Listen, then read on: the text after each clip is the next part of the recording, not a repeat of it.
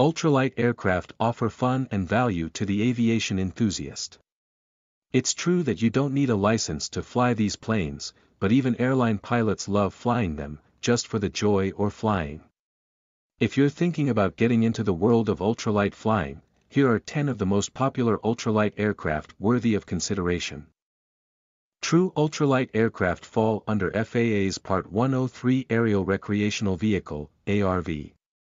These aircraft are essentially unregulated and pilots don't need licenses to fly them. Many ultralights are kit built by their owner slash pilots. Ultralights come in many forms. The most common designs are trikes, which are simple fuselages suspended under standard hang gliding wings.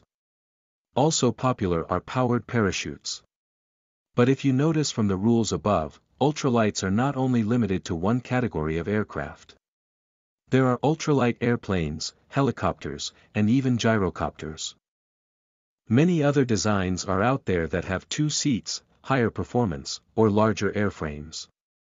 These may be built at home by a DIY flyer, or they might be partially completed at a factory and sold as a kit.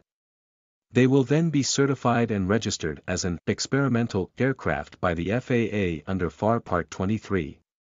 They can then be operated under Part 91, general flight operations, by a licensed pilot, just like any other certified aircraft. Top 10 Most Popular Ultralight Aircraft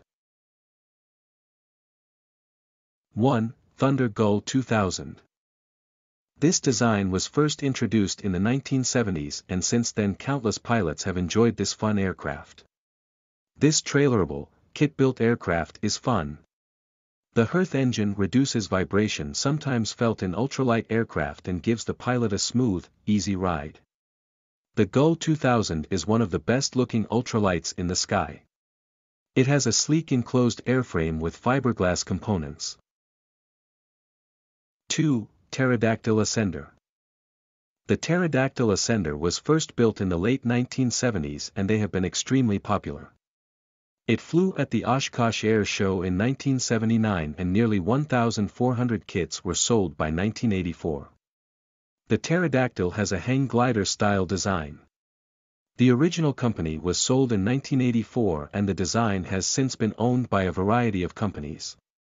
The model has several iterations and variants such as the Ascender, Fledge, Fledgling, among others. 3. Composite FX XEL Helicopter this helicopter has floats and can therefore weigh more than the standard Part 103 limit of 254 pounds. The composite FX XEL features a fiberglass airframe and can reach air speeds of up to 70 miles per hour. The XEL is available as a kit or factory finished for under $50,000. Composite FX makes three other models of experimental helicopter, including the Turbine XED. 4. Aeromarine Merlin Light. It has a gorgeous panel in the cockpit with a GPS, full EFIS with artificial horizon, airspeed, altimeter, G-meter, heading indicator, compass, and ball. It also has seven windows and a door. This aircraft packs features typically reserved for fully registered aircraft into an ultralight frame. It can have either tricycle gear or be configured as a taildragger. 5. Quicksilver MX-103 Quicksilver is known for their full range of kit planes and ready-to-fly light sport aircraft. They make simple high-wing planes with open or enclosed cockpits. They've sold over 15,000 aircraft since starting in the 1970s. Their MX-103 meets the requirements of FAR Part 103 as an ultralight aircraft. They also make a two-place light sport version of the same airframe, which is the perfect option for pilots who want type training. 6. Jordan Lake Airbike 103 Unlike many planes on our list, the Airbike is available only as plans and unfinished parts kits. It's a simple airframe that consists of a tubular steel frame with wooden wings.